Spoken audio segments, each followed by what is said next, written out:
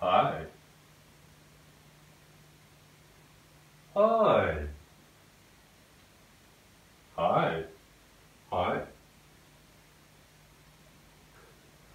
Now, as I'm sure Kurt will have already told you, the house jamming rules are as follows. Absolutely any genre or subgenre of jazz are totally acceptable. Kurt's been reharmonizing a nice, breezy 70s funk interpretation of Good King Wenceslas, haven't you, Kurt?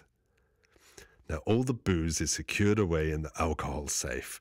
We all know that a sniff of a barman's apron causes the smorgasborgens, dorgens, borgens, schmorgens to become maudlin drunks fixated on religious imagery.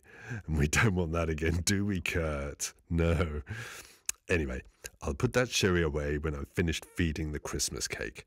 I'm just off out to get some mince pies and maybe a little bit of mistletoe. See you in 30. Ja. Ja. Ja.